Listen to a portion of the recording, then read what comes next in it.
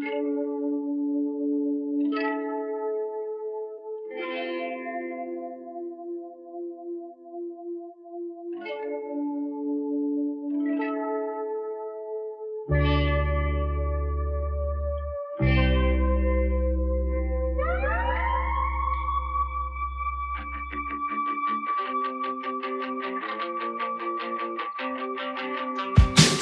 by the river looking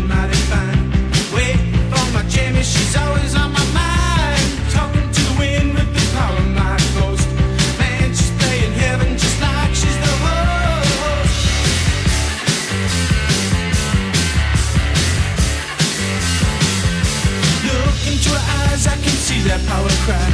Holding out a hand.